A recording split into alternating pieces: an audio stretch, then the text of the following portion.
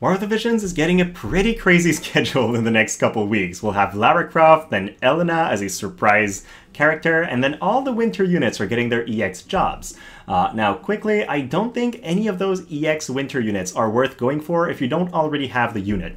Uh, there's so much good stuff to go for that pulling for these seems like a little bit of a waste. Uh, they will probably be back in winter in three months if you miss them right now, so it's no big deal. And then mainly, when they were released in JP with their EX job, uh, it was in the beginning of the EX era, but now it's been months. Uh, Cloud, Tifa, there's been so many good units that are much more competitive than the winter ones that have been released uh, that they're just a little too late. If you do already own them though and uh, want to EX them, I think it's very worth it. They are very good, especially Viktora. And so what we're doing today is we're taking a doing a review, we're reviewing stats, abilities, builds, where they all shine, where they won't. Uh, but my general advice is you already got them, go for the EX, you don't have them, please don't pull. Uh, I think you'll be spending too much Viz on something that you won't be able to use all that often. So let's begin with Viktora's review, and then I'll be working on the other videos afterwards. Uh, this one is a long-range debuffer. She's got a very interesting kit, including a barrage that decreases offensive stats. Uh, she has 60 defense penetration very easily without buffs, and then with buffs can get to 100 and completely ignore defense, which is very interesting. Uh, she has decent physical bulk, uh, no matter the sub-job you're equipping, so that's pretty interesting. And then uh, she will be a natural partner for Lara Croft, or at least use the vision card that we'll be getting for free very well, because it's a water missile-oriented vision card. Uh, something I really like Winter Viktora for is manual play. Uh, she has move 3, jump 2, which makes her rather mobile around the map. And then she's got long range and debuff, so it's really easy to use her to outmaneuver the enemy team, uh, which I generally think is a very fun way to play. Looking at her stats, I would say she's somewhere between Barret and Frederica. She doesn't have the HP that Barret has, uh, but she can have really good defensive abilities, and uh, she can generate barriers, which makes her rather tanky versus physical threats. Uh, she is a little bit slower than what Frederica is, but has a little bit more attack, slightly shorter range, but slightly higher damage. So overall, she's a really good long-range attacker that can somewhat survive a punch or two, so you could put her in the front line if you need to. I like the fact that she has the Paladin sub-job, which gives her the option to draw height if you need it, or to chain with slash attackers, so she's a natural partner for Tidus if you already have him built. If I was just looking at the stats, I would say she works fine at 115. She doesn't lose out on too much HP or attack or any other important stat. Uh, but the thing is, her 120 ability really makes the character, and I think without that, she will never compete. So if you want to build her, you have to go all the way to 120. Looking at the actual upgrade, uh, the first ability she gets upgraded is Long Range, which moves from Range Up 1 to Range Up 2. With Range Up 2 in her passives, she is one away from the top tier range uh, characters. So they have Range Up 3 in their passives, that's Frederica, Nivlu, Corval. Uh, she's not too far behind. Then her second upgrade is the Slow Arrow that reduces movement, and it now has plus 1 range. Uh, that would be good, but the fact is her longest range ability is actually her break spread that we'll see down there, which is a barrage type ability. Uh, so I don't think you'll be using the extra range from Slow Arrow all that often. It could be good though, I guess.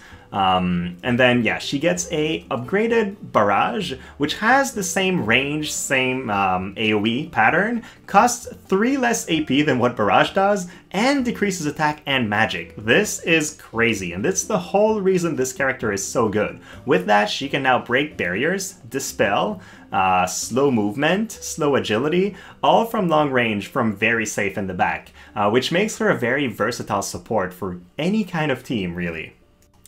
Here's a build that I think is kind of the typical way to build her. You would either go Paladin or Dual Gunner to increase your defense or generate some barriers, and then she's got 5600 HP, which isn't all that high, but with 37 defense and physical barriers, or 50 plus defense, she is decently uh, surviving. Uh, magic though, don't fight that. She oh, doesn't have a lot of spirit, doesn't have magical barriers, so she might go down in one hit, uh, which is pretty bad for a character that's meant to be bulky. Uh, she does have 60 plus defense penetration pre-buffs, which is really fun, and then 95 agility without the use of the Black Rose Vision card or any other agility up VC, which is pretty fun. I think she's a great partner for evasion teams, so if you want to pair her with Tifa or Tabi, she'll do well, and the main reason for that is she has a limit burst that's basically guaranteed to blind with 67% base chance in an AoE, so you could use that to make sure that your uh, evasion units really can't get hit by the enemy team, and then it's going to be super hard for the enemy team to get to Viktora because she's way in the back, and they have to deal with your evasion units in the meantime. Otherwise, she's a great partner for water teams in general because she can potentially build chains, uh, start fights, or finish off enemies, and the fact that she breaks barriers is very interesting. I think she'll be especially good with like Summer Elcyrel and Tidus fighting physical teams because all three of your characters will be very hard to kill and they'll kind of enable each other with their abilities and chains. So that would be a team I could see being very competitive, uh, especially in Arena where you can pick your enemies. Uh, then, I mean, avoid Cloud. He has 60% defense penetration, so he doesn't care about that. Uh, he has three hit attacks, which I guess go through your barrier in a single ability, or I can just use Ascension, break the barrier, and then one-shot you through that. Uh, yeah, Winter Viktora will hit Cloud first because she has better range, but the second he comes in, he will murder her. Uh, then she'll also lose against Frederica, especially because the... Um, Frederica's Dream Vision card gives missile resistance. So on one end, Frederica's very resistant to what Viktora can do, and then on the other end, Viktora just has elemental disadvantage. Not a great matchup. And then finally, avoid fighting enemies with a lot of sustain, like Yuna. Uh, Viktora does not have the damage to one-shot enemy teams. She's more of a character that will maintain an advantage while slowly whittling them down, and so if they have a lot of sustain, they can heal back the damage she does. Especially somebody like Yuna, the second she procs Aeon Bond goes back to full HP, so it's definitely not a great matchup. So my overall verdict is she's a very fun offensive support. She can be bulky, but she's mainly got a great kit for manual. Like she's a good unit in other game modes, but that's really where she'll shine. And I know that's not the most popular game mode out there. Uh, she also suffers from really poor timing, and her kit will compete with Lara Croft because they're both water missile units. So unless you want to invest a lot of Viz to have two of those, uh, you might want to diversify your account a little bit more. I do think they will be great partners though, and they will use the same kind of vision card. So if you want to make a team with both. It is going to be very strong. Uh, if I was to give it a rating by game mode, I would say PvE a solid 7 out of 10 in a challenge where you need to use water units uh, because of all the utility she has. Like she can decrease the enemy team's defensive power, break barriers, dispel buffs, reduce their movement. There's a lot she can do, and in a pinch, you can use her as your tank by generating hate and putting barriers on her. So she can fill so many roles that I would rate her rather highly in that game mode. Arena, pretty good. You can make sure that you fight uh, physical enemy teams and then you have a very bulky attacker with a solid kit.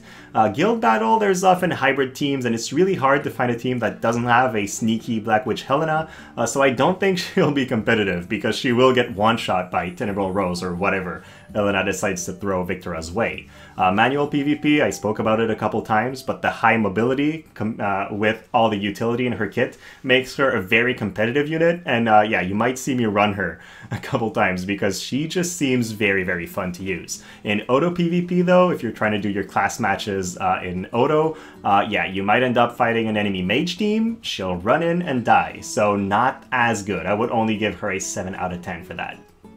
My personal plan is to build her. I've had these winter units in the barracks for basically until barracks started giving shards, and so I have more than 250 of her mind spheres already. I will go all the way whenever I get the blossoms. Right now my blossom stash is at a big old zero, so it might take me a short while, but the second I have them, she is my first winter unit I want to EX. So that's what's gonna happen on my side. Uh, hopefully you guys found it interesting and it gave you a couple of ideas on whether she's a good investment or not for you. Uh, if it did, please like and subscribe. And then as per usual, guys, thank you so much for watching and have a great rest of your day.